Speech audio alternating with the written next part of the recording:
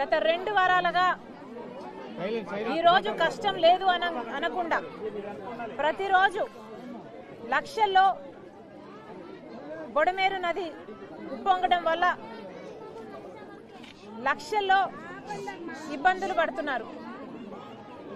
ఇప్పటికే దాదాపు యాభై మంది చనిపోవడం జరిగింది. దాదాపు ఏడు లక్షల మంది డైరెక్ట్గా ఎఫెక్ట్ అయ్యారు అని ముఖ్యమంత్రి గారే చెప్తున్నారు.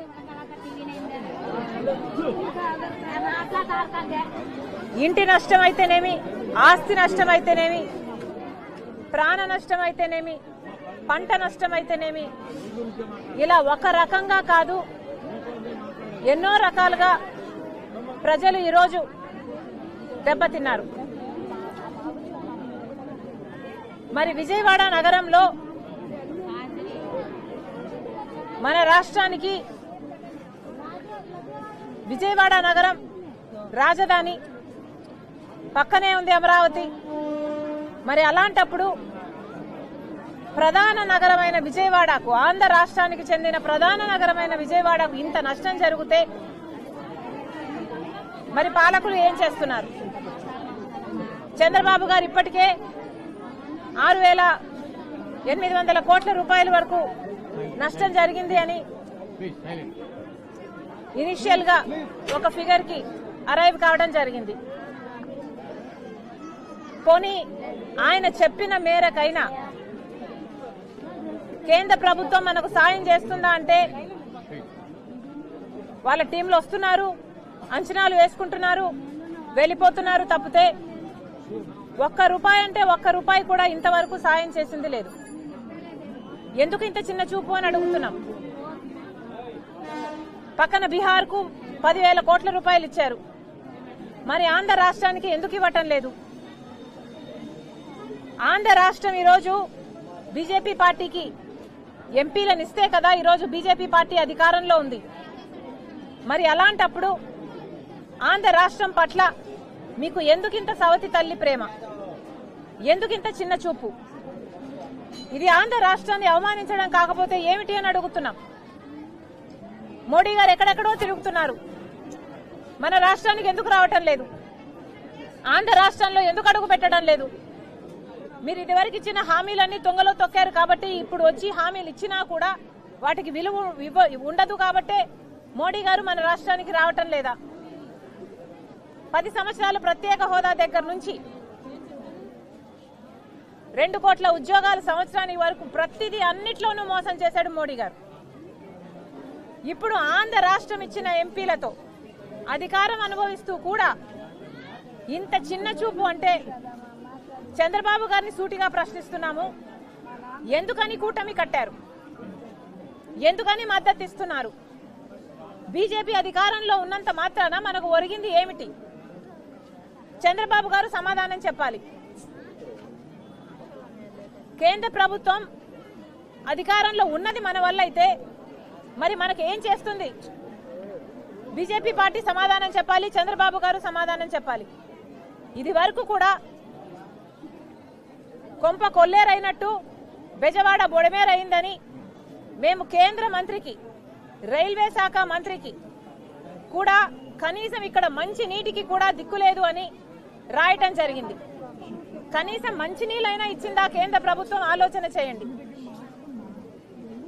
వేల కోట్లు పక్క రాష్ట్రాలకు ఇస్తున్నారు కానీ ఆంధ్ర రాష్ట్రానికి మాత్రం ఇవ్వటం లేదు. ఇక్కడ కనీసం కుక్కడు మంచినీళ్ళు కూడా లేకుండా ఇంతమంది ప్రజలు అల్లాడిపోతున్నారు. అసలు వీళ్ళ బాధ ఒక్కొక్కటి వింటుంటే ఎంతమంది లక్షల్లో ఉన్నారు? ఇలాంటి కాలనీలు ఎన్నో ఉన్నాయి.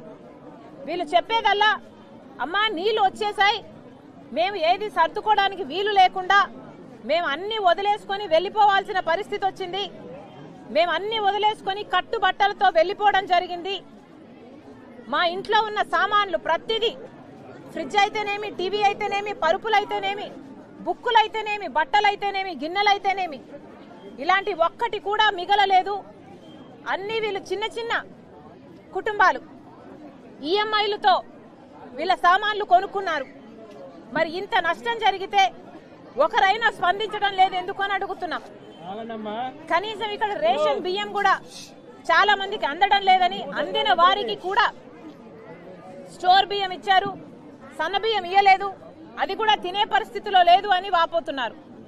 మరి వీటన్నిటికీ ఏం సమాధానం చెప్తారు?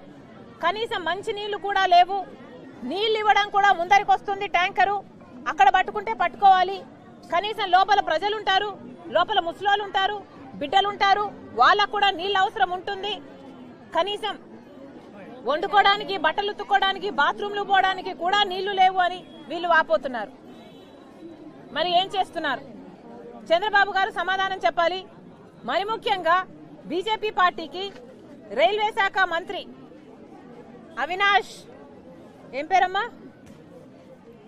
రైల్వే శాఖ మంత్రికి మేము ఒక లేఖ కూడా రాయటం జరిగింది.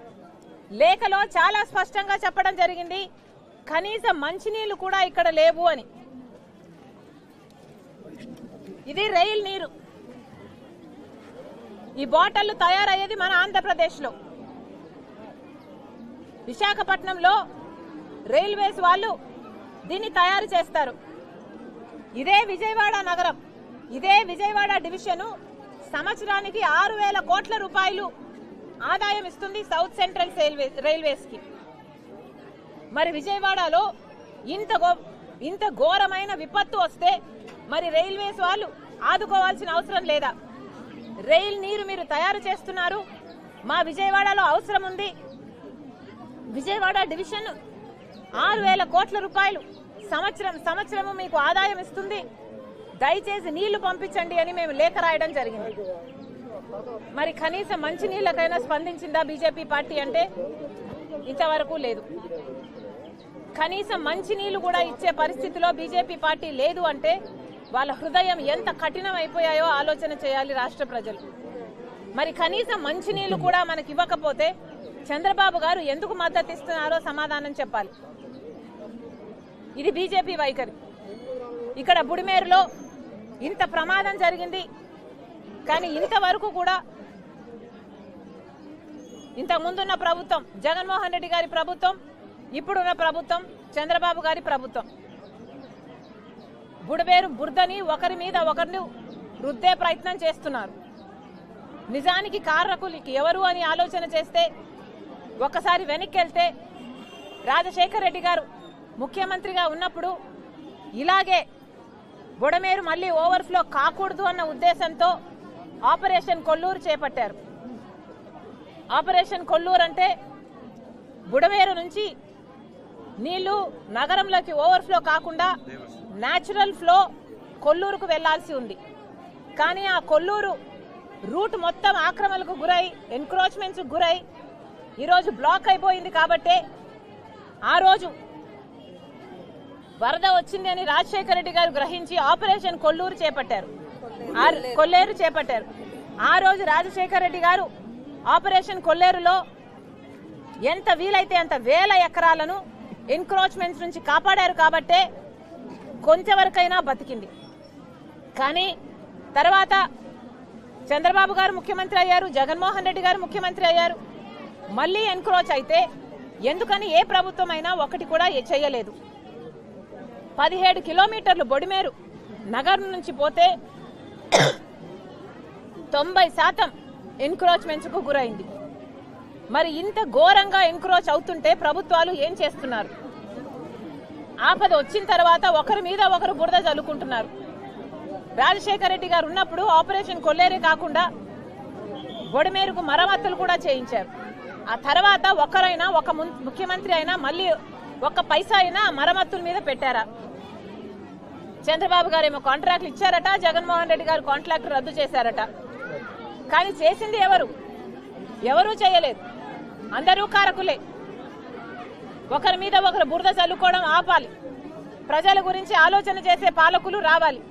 మళ్ళీ చెప్తున్నాం ఎన్క్రోచ్మెంట్స్ క్లియర్ చేయాల్సిన అవసరం ఉంది. మళ్ళీ ఇలాంటి వరద రాకుండా చూసుకోవాల్సిన అవసరం ఉంది. అంతేకాదు ఈ ప్రజలందరి తరపున డిమాండ్ చేస్తున్నాం. ఒక్కొక్కరికి కనీసం లక్ష రూపాయలైనా కాంపన్సేషన్ ఇవ్వాల్సిన అవసరం ఉంది. ప్రభుత్వాన్ని గట్టిగా డిమాండ్ చేస్తున్నాం ప్రతి ఇంటిలోనూ నష్టం జరిగింది. ప్రతి ఇంటికి నష్టం జరిగింది. ఆస్తి నష్టం జరిగింది. పంట నష్టం జరిగింది. ఇళ్ళ నష్టం జరిగింది. ఇలా ఎక్కడ ఎవరిని తట్టినా కూడా వాళ్ళ బాధలే చెప్పుకుంటున్నారు. చంద్రబాబు గారిని హెచ్చరిస్తున్నాం. మీరు అధికారంలోకి వచ్చారు. మీరు మంచి పేరు నిలబెట్టుకోవాలి అంటే వీళ్ళందరికీ కాంపన్సేషన్ ఇవ్వాల్సిన అవసరం ఉంది. చంద్రబాబు గారికి హెచ్చరిస్తున్నాం.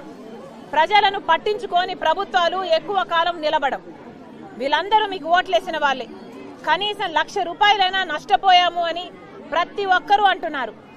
కనీసం నష్ట రూ- లక్ష రూపాయలైనా వీళ్ళకు నష్టపరిహారం చెల్లించాల్సిన అవసరం ఉంది. అంతేకాదు లక్ష రూపాయలు మీరు సర్వేలు చేస్తున్నాం అంటున్నారు ఒక్కొక్కరికి ఒక్కొక్క ప్రతి ఇంటికి సర్వే టీం వెళ్తుందంటున్నారు. సర్వేల ప్రకారం ఇస్తామంటున్నారు. అంతా బాగానే ఉంది. కానీ కనీసం తక్షణ సాయం కింద కనీసం కుటుంబానికి పదహైదు వేలు చొప్పున వెంటనే ఈ రోజు రేపట్లో కనీసం పది పదహైదు వేల రూపాయలు ప్రతి కుటుంబానికి ఇవ్వకపోతే వీళ్ళు మరి మళ్ళీ నిలబడే పరిస్థితి కూడా లేదు. మంచి నీళ్ళు కూడా రావటం లేదని చెప్తున్నారు. ప్రభుత్వం మేలుకోవాల్సిన అవసరం ఉంది. కనీసం లక్ష రూపాయలు ప్రతి కుటుంబానికి సాయం చేయాలి. అంతేకాదు పంట నష్టం కూడా చాలా జరిగింది. వాటి మీద కూడా మేము స్పందిస్తున్నాం. దయచేసి చంద్రబాబు గారు ఇప్పటికైనా మారుమూల ప్రాంతాలలో సాయం అందటం లేదు. ఇప్పటికైనా గ్రహించండి సాయం అందించండి. వెంటనే వీళ్ళకు తక్షణ సాయం కింద కనీసం పదహైదు వేల రూపాయలు ప్రతి అఫెక్ట్ అయిన ప్రతి కుటుంబానికి విడుదల చేయాలని కాంగ్రెస్ పార్టీ డిమాండ్ చేస్తుంది. Madam CM Chandrababu madam tweet చేశారు. చిన్నపిల్లలు సైతం వరద ప్రాంత ప్రజలకి విరాళాలు ఇస్తున్నారు. దాతలు స్పందించండి. ఇది ఎక్కడ విడ్డూరం అడుగుతున్నాం? చంద్రబాబు గారు డబ్బులు తీసుకోవాల్సింది చిన్నపిల్లల దగ్గర దగ్గర నుంచి కాదు. చంద్రబాబు గారు డబ్బులు తీసుకోవాల్సింది బీజేపీ పార్టీ దగ్గర నుంచి. బీజేపీ పార్టీ బీజేపీ పార్టీకి ఆంధ్ర రాష్ట్ర ప్రజలు ఇప్పుడే కాదు గత పది సంవత్సరాలుగా అందరు ఎంపీలు ఊడిగలు చేస్తున్నారు. అటు వైసీపీ అయితేనేమి ఇటు తెలుగుదేశం పార్టీ ఏమి ఇరవై ఐదు ఎంపీలను బీజేపీ పార్టీ ఎట్లా ఇష్టం వస్తే అట్లా వాడుకుంటున్నారు. మరి ఇప్పుడు చంద్రబాబు గారు డబ్బులు తీసుకోవాల్సింది బీజేపీ పార్టీ దగ్గర కాదా? ఇప్పుడు వసూలు చేయాల్సింది బీజేపీ పార్టీ దగ్గర కాదా? చంద్రబాబు గారిని అడుగుతున్నాం ఇది పబ్లిసిటీ స్టంట్ కాకపోతే ఏమిటి అంటున్నాం. అంత చిన్న పిల్లలకు పాకెట్ మనీ ఇవ్వడం ఏమిటి? ఆ మనీని మీరు తీసుకోవడం ఏమిటండి? పిల్లలు కాదు కదా డబ్బులు ఇవ్వాల్సింది. పిల్లల దగ్గర నుంచి కాదు కదా మీరు డబ్బులు తీసుకోవాల్సింది. బీజేపీ పార్టీ దగ్గరికి వెళ్ళి తీసుకురండి. పదివేల కోట్ల సాయం వెంటనే తీసుకురావాలని చంద్రబాబు గారిని డిమాండ్ చేస్తున్నాం అందటం లేదా ఆ. మెడిసిన్ సరిగ్గా అందట్లేదు మేడం. ఒక- మందులు కూడా ఇచ్చేటప్పుడు ట్రాక్టర్ లోంచి ఇసిరేస్తారు మేడం.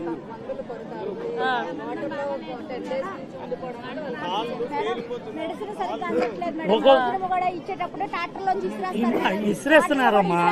ఇంటింటికి ఇవ్వట్లేదు ఇంటింటికి తీసుకెళ్ళి ఇవ్వట్లేదు ఏదో ఒక చోట పెడుతున్నారు అక్కడికి వచ్చి తీసుకోండి అంటున్నారు.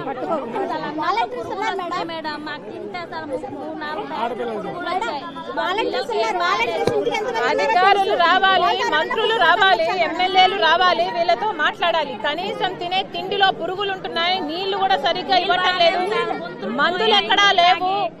మెయిన్ రోడ్ మీదకి వచ్చి ప్యాకెట్లు ఇసిరేస్తున్నారు అని చాలా మంది బాధపడుతున్నారు. This is not right the government should do something about it చిన్న సబ్జెక్ట్ అండి చిన్న సబ్జెక్ట్. ఇప్పుడు దాకా ముఖ్యమంత్రి అయినా వచ్చారు కానీ మా ఏరియా ఎమ్మెల్యే రాలేదండి. రాలేదు మేడం ఎవరు రాలేదు? మీరు మా ఏరియా ఎమ్మెల్యే రాలేదు.